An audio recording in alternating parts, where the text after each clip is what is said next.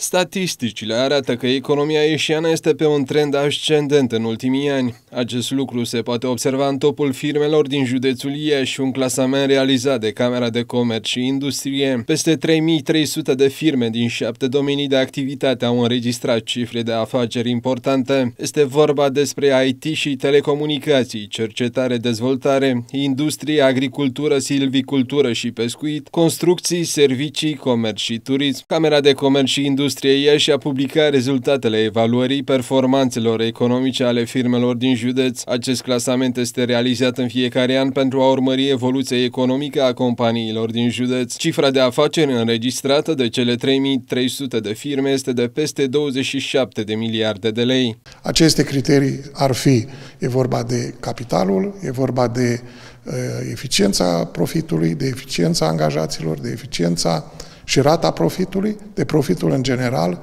și, evident, cifra de afaceri. Combinând toate aceste elemente, rezultă o, o clasificare mai corectă, spunem noi, și mai obiectivă, bazată pe cele circa 20.000 de bilanțuri pe care firmele ieșene le-au depus uh, la administrația financiară, bilanțuri diferite de zero.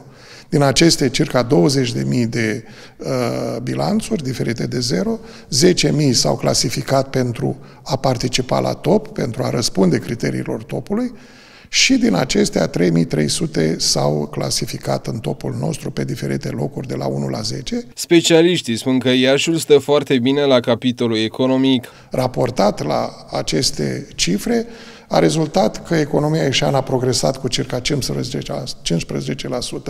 față de anul 2019, am comparat cu anul dinainte de pandemie, un lucru care e mai mult decât uh, surprinzător și în același timp mulțumitor, cred, pentru economia ieșeană. Clasamentul cuprinde micro-întreprinderi, întreprinderi mici, întreprinderi mijlocii, întreprinderi mari, întreprinderi foarte mari, corespunzătoare fiecărui obiect de activitate.